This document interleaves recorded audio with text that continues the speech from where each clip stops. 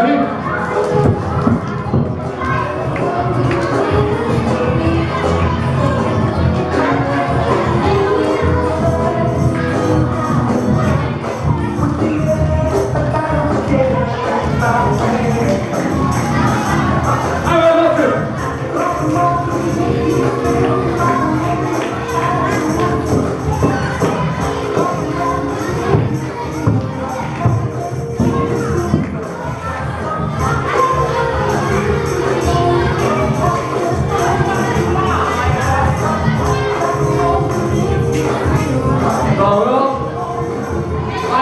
Знаєте, його режим позицію.